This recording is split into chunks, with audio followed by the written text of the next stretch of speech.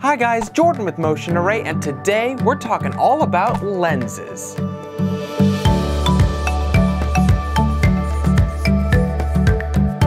Most of us know lenses as that really expensive piece of glass in front of your also very expensive camera. But why are there so many options? How do they even work? And how do I know which lens is right for me in each given situation? There's a lot of different questions in this topic that you could ask, so today we're going to go over just a basic introductory course. Just a disclaimer, lenses are very complicated, and there's a million different things that we could cover in a video like this one. But today we're just going to be going over the basics so that you have a place to start. So let's start simple. What is a lens and why do you actually need one? Well, let's take the lens off of the camera and see what happens. We get a blank white nothingness. Right now, light is hitting our camera sensor, but there's nothing else going on. The job of the lens is to focus that light so that when it hits your camera sensor, there's actually a discernible image. This is actually what the lens of your eye does, focusing the light before it hits the back of your eyeball so that you can make out the shape of that expensive camera you just bought. So why won't just any lens work for what you're shooting? And why are there so many options? What's the difference between them? Today in this video, we're going to be going over three basic topics. Focal length, aperture, and zoom versus prime. So let's start it off with focal length. Focal length by definition refers to the distance between the center of the lens and its focus. But for our purposes, it refers to how wide or how zoomed in your image looks. A wider lens like 16 millimeters, for example, will look more like this, showing a very wide amount of area for you to look at while a 200mm lens positioned in the same exact place will end up looking like this, allowing you to see way less of the scenery and making your subject appear way larger in the frame by comparison.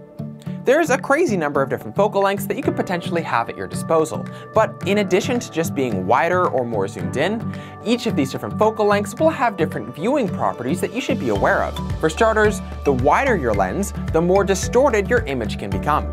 If I'm too close to my wide angle lens here, it can actually start to make a real mess of my face, making it rounder and more alien than, for example, if I got as close as I could to my 200mm lens, while still being in focus. The difference becomes very apparent, and you can see just how the focal length changes the way your subject's face looks structurally. Here we can try to show you some quick snapshots of how a person's face visually changes when you put them through different focal lengths. But the reason that it changes the way the shape of the face actually looks is because of the way the lens actually distorts the distance between two objects. We notice it right away with faces as people because we're so used to looking at faces. But you can also see it, for example, if we take this object in the background, filmed on a 24mm lens, and then simply switch out the lens for a 200mm one. We can see that now it looks like the object is much closer. This is because the wider lens makes things look farther apart while a longer lens will actually compress the distance between objects, making them look as if they're closer together, even though the real distance between them hasn't changed at all. So what does this actually mean for you? How do you use this information in a practical way? Well, for starters, if you want to make it look like something is really far away from your subject, you can exaggerate it by using a wider angle lens. And to the contrary, if you want to make it look like two things are a lot closer together than they are, you can use a longer lens to achieve this. A really practical example of that one is in fight choreography or any sort of stunts. That way you can make it look like your subject is way closer to the action when they're actually, in reality, a very safe distance away. But unless you're shooting something incredibly stylistic, you probably don't want to be just shooting at the two extremes. So then, what do you do with that middle zone? All throughout the middle between these two ranges are a variety of different focal lengths that can serve your purposes for all sorts of different occasions. Keep in mind the different characteristics that you saw at each of the extremes of those focal lengths. And as you start to get closer and closer to the middle and go farther away from the extremes, you'll start to see those characteristics diminish, all the way until you get to about 50 millimeters. Why 50 millimeters? Well, because that's what's been said to be the closest equivalent to what we see with our human eyes, and therefore what looks more quote-unquote natural. This is why a range between 50 to 85 millimeters is said to be really great if you want to get beauty shots. Shots of a person where you really want to capitalize on making them look as good as you possibly can. Keep in mind, these aren't rules to be bound with, it's just information about how lenses work so that you can make the appropriate choice when necessary. And now let's move on to aperture. So when you hear people talking about lenses, you'll likely hear them talking about numbers that are associated with them. And if you hear things like 24 millimeters, 35, 50, 200 millimeters, you probably understand a little bit more about what they're talking about. But there's other numbers that people talk about when associating with lenses. Specifically, these are probably either the t-stop or f-stop number, but both of those have to do with aperture.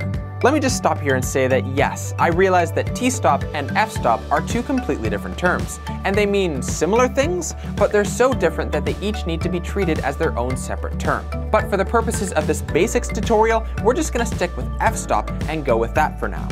Basically, the f-stop refers to the size of the opening of the lens. This number can change because lenses have aperture blades that can artificially make the hole larger or smaller. If the lens itself is marked with a particular f-stop number, that means that's the widest open the lens is capable of being.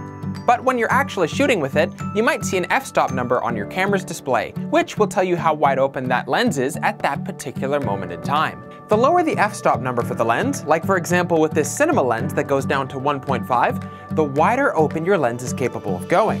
The same goes for when your lens is actually in use. The lower the f-stop number, the larger the hole is that light's being let into whereas a higher f-stop number, like 22 for example, means that the hole is smaller. Cool, so what do you do with that information? Well, just like focal length, adjusting your lens's aperture settings will actually produce a different characteristic of your image. There's a couple different things that will happen as a result of either raising or lowering your f-stop number, but the first of which is that your image will either get brighter or darker. And it's pretty easy to understand if you just think about how much light is actually able to get through to your camera sensor. A larger f-stop number and a smaller hole means less light getting through to your sensor, and the image will be darker. But if you open up your lens's aperture as wide as it goes, you're gonna let in significantly more light, and your image will be much brighter as a result, even if you make absolutely no other changes. It might sound pretty self-explanatory, but this isn't the only thing that changing your aperture does. As you raise your f-stop number and therefore make the hole smaller, you actually make more and more of your shot in focus at the same time. The term that we use for this is called depth of field, and it refers to how much of your field of view is actually in focus at any given time. And like we said before, the larger the f-stop number, the wider this depth of field is. Meaning that if you have a very wide shot of a lot of different things at various different focal lengths, a higher f-stop number and a wider depth of field will capture more of it in focus at the same time. But the opposite is also true. If you drop down your f-stop number to be really, really small, and so your lens is wide open, this will create an incredibly shallow depth of field by comparison, meaning that less and less and less is in focus at any given time. You might notice this as having some of the qualities of the film look that you've come to appreciate, having a really razor thin depth of field so that only a really small amount is actually in focus at any given time. Having a very out of focus background can help to contrast with a really in focus subject, helping them to pop out a little bit more. A typical rule of thumb is that the lower you bring down the lens's possible f-stop number to, the more expensive the lens will become. You can really see this with Canon's lineup of 50mm lenses. Their 50mm that does a 1.8 aperture is priced at around $100. Their 50mm model that can do a 1.4 aperture is priced at about $350. And finally their crown jewel, which is a 50mm lens that can drop all the way down to 1.2. This one is priced at $1,300. Yikes. There's a bunch of other factors that go into why these lenses are priced this way, but you can start to see a general trend. But once you get down to that beautiful f-stop 1.2, your images will automatically look better, right? Wrong.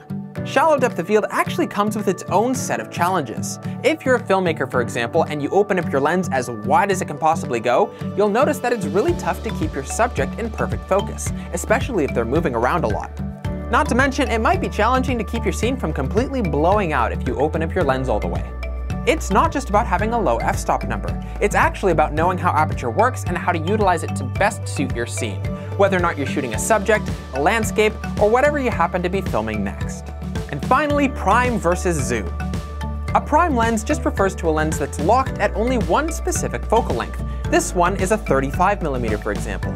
Some common examples are 24mm, 35, 50, 85, 135, etc. A zoom lens, on the other hand, simply refers to a lens that can achieve various different focal lengths within the same lens body.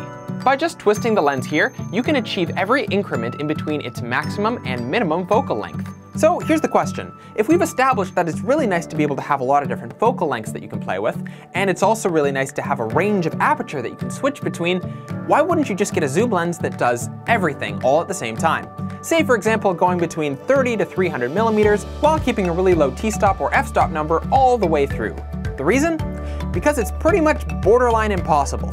It's an amazing feat of engineering to be able to do something like that, and the few lenses that have been able to actually do it come with an enormous price tag attached to them. Even a lens like this, the Canon 70 to 200 millimeter lens at f-stop 2.8, will cost you about $2,000. And you're not really even getting any medium or wide angles with this lens at all. So this is why if you're not made of money, prime lenses are a really great option.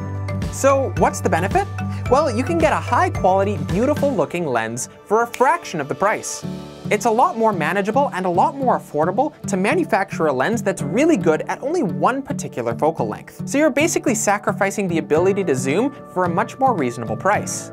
That might seem a little bit frustrating, but if your primary purpose is for filmmaking and not for photography, this can be a really huge benefit to you. Think about some of the movies that you've watched recently. Think about how often they're actually zooming with the lens as opposed to physically moving the camera closer to or farther away from the subject. Zooming while recording video can sometimes come across as having that cheap feeling. And unless you're filming the next reboot of The Office, you're probably not going to be doing a lot of zooming while recording. A cheaper and more effective option is to simply change out your lenses when you need a different viewing perspective, or to simply move closer to or farther away from your subject to frame them differently. But wait, some of you might be saying, zoom lenses are actually integral to what I do.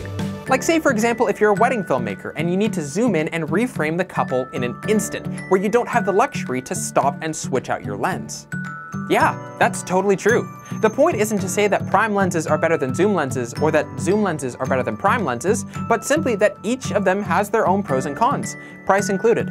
Each of them have their own specific purposes and each of them can help you to tell your stories better, whatever stories you're actually telling. The whole point of this is to simply give you guys more information when it comes to lenses. That way, the next time you're either choosing a lens, purchasing a lens, or shooting with a lens, you know a little bit more about each given scenario. But guys, that's it for me. Thank you so much for watching. I hope you found this video on lenses to be helpful. If you did, we've always got more tutorials over at motionarray.com. And for those of you here on YouTube, consider subscribing to our channel and clicking the bell icon so that you never miss whenever we post.